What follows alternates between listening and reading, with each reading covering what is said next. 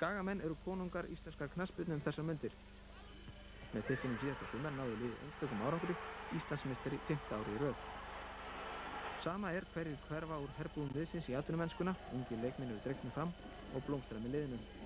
Á síðasta ári þurftu Skagamenn að hafa aðeins meira fyrir tillinum en fyrr en með samheldni og Sigur Vilja sem er svo einfinnandi fyrir Skagamenn var titillin þeirra. Nokkrar breytingar hafa orðið upp á Skaga og má það fyrst helja að nýr skipstjóri er brunni. Ívan er fyrir um atvinnumæður í í og á Englandi og reyndi fyrir sér sem framkvæmtastjóri Dundee í Skotlandi. The reason why I came here is uh, there are a lot of you know nice uh, young uh, players, a lot of quality, a lot of ability, and uh, with Ambition Club is uh, here, and I'm sure you know that uh, those old kids, uh, if they are properly and decently up, they could be a great asset to, to Icelandic game and the European game. And the way Icelandic football is progressing and in the recent years, uh, I can see them, you know, this were probably, you know, Denmark was some, some years ago. And that's, that's the reason why I came across. Well, we just completed everything and we're looking forward to a new season.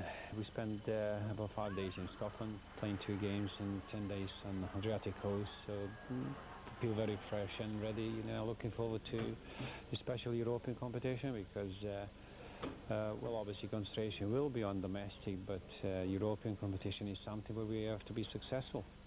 Þrýr erlendi leikmenn hafa bæst í hóp Skagamanna í vetur og nú í var ljóst að Haraldur Ingólfsson kemur úr atvinnumennsku í og leikur með þeim í sumar. It's going to be interesting season, probably more interesting than previous ones because uh, quite a few clubs seeing themselves as, uh, you know, champions, which is a nice. That's a nice for, for the spectators' point of view.